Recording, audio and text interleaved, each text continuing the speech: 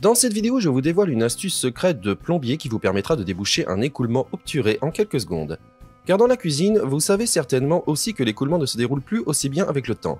C'est surtout dû au fait que les petits restes de nourriture et de graisse tombent de temps en temps dans l'écoulement, qui s'y déposent naturellement et bouchent ainsi de plus en plus l'écoulement.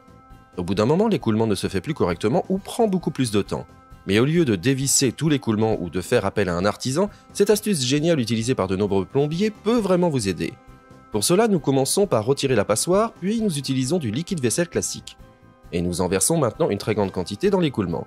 Cela signifie qu'il faut au moins la moitié d'une bouteille de liquide vaisselle. En effet, le liquide vaisselle a un effet dégraissant et peut donc faire en sorte que tous les dépôts se dissolvent dans l'écoulement. Et la quantité fait qu'il y a du produit vaisselle partout. Nous devrions donc laisser agir le tout pendant au moins 10 minutes. Une fois que c'est fait, l'étape suivante consiste à remettre le bouchon et à l'abaisser complètement, puis à remplir tout l'évier d'eau chaude bien chaude. Nous allons donc faire couler l'eau jusqu'à ce que toute la cuvette soit remplie d'eau chaude. Une fois que c'est fait, nous pouvons à nouveau ouvrir l'écoulement pour que toute l'eau s'écoule ici et emporte ainsi tout le produit vaisselle avec tous les dépôts de graisse et les restes de nourriture.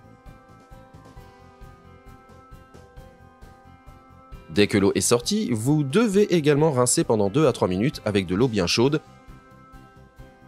pour que tout soit vraiment bien dissous et que notre écoulement soit ensuite complètement dégagé. Une fois que vous aurez fait cela, votre canalisation bouchée devrait être débloquée et elle s'écoulera à nouveau correctement à l'avenir, comme il se doit. N'hésitez donc pas à essayer cette méthode chez vous.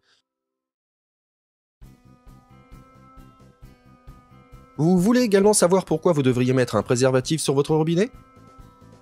Alors regardez absolument la vidéo que je vous mets en lien ici.